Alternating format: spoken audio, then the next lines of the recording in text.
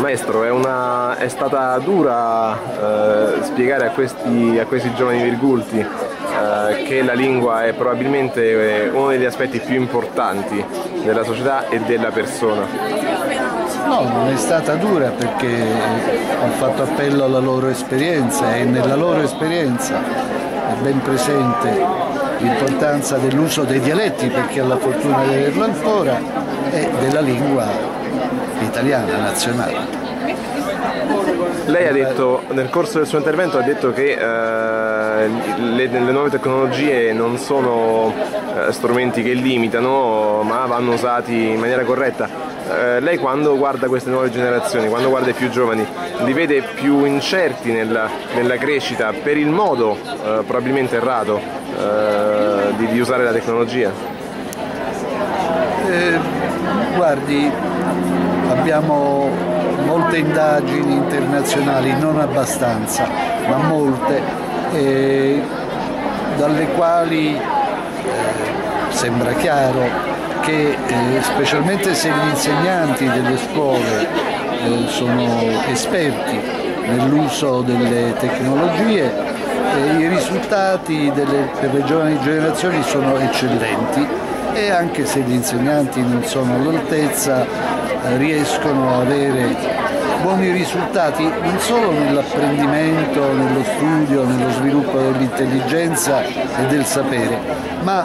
nella vita di relazione e nell'intreccio di relazioni anche a grande distanza, che è un fattore importante di sviluppo delle persone. Qual è secondo lei la qualità eh, di, questo, di, questo, paese, del sistema Italia più che altro, rispetto ai paesi d'Europa? È vero, siamo indietro, siamo, eh, siamo in ritardo, siamo più lenti, però ci sarà una, una qualità in questa, in questa benedetta nazione, oppure siamo davvero messi così male come io credo, ma non conta il mio parere, insomma, conta quello suo. Io a diverse riprese nella storia anche recente del paese è stato molto importante il fai da te, lo sviluppo di un entusiasmo collettivo nel realizzare cose che non venivano né suggerite né imposte né favorite dai gruppi dirigenti. E la storia della scuola è punteggiata da questo slancio che è venuto prima dalle famiglie, da, da ragazze e poi, e poi è stato non impedito dai gruppi dirigenti.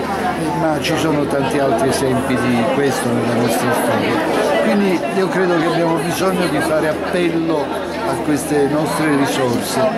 eh, ma naturalmente questo richiede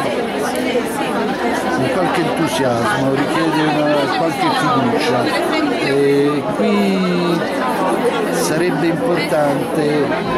che, si, che ci fossero delle leadership nella vita sociale capaci di guidarci su questa via e per ora mi pare che non le vediamo e non le riconosciamo e quindi restano solo i molti dati negativi, a cominciare dalla disattenzione, a mio avviso, drammatica e colpevole eh, per la scuola, l'istruzione e la formazione le ultime domande, poi la lasciamo andare. Eh, tra le domande eh, degli studenti ha, a cui lei ha risposto fine, alla fine della lezione, eh, molte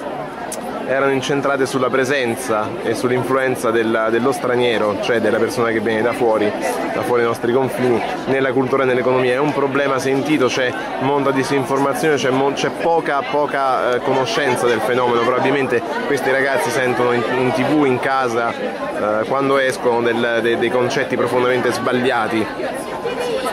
Certamente i meccanismi dell'informazione sono perversi, se uno di noi fa il mascalzone, se uno di noi nati in Italia fa il mascalzone e investe sulle strisce è un poveraccio, il titolo è grave incidente, se alla guida c'era un rumeno o un serbo, un croato, il titolo è croato investe sulle strisce, rumeno investe sulle strisce. E questo fissa stereotipi negativi assolutamente ingiustificati e ci fa dimenticare i dati di fondo, questo 7% di eh, persone non nate in Italia che vengono tra di noi sono una ricchezza anche in senso strettamente economico-produttivo per il Paese e per le sorti della natalità anche molto importante. Ed è ridicola la presenza di questi stereotipi quando si pensa alle percentuali di eh, immigrati in Germania, in Gran Bretagna, in Francia enormemente superiori al nostro modesto 7%. L'ultima domanda, la ricostruzione di questa città, lei ne ha parlato perché qualche domanda sì. verteva su questo tema, passa anche per un recupero della, del dialetto, dell'identità, dell'identità linguistica? Credo di sì, dell'identità culturale e dell'orgoglio delle proprie tradizioni. Credo che questo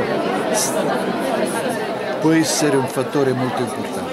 però c'è un'influenza sul, su, sui soldi che dovranno essere spesi, lei ne ha parlato ed è stato anche molto duro, cioè ci sono eh, dei movimenti di, di, denaro che vanno verso eh, certi personaggi, certi, certe certo, cricche. certo. E, e, quindi sono collegate queste due cose, cioè il recupero sì, linguistico non, sì. può, non, non, può, prescindere dal... No, deve essere un recupero di cultura e di capacità di intervento e di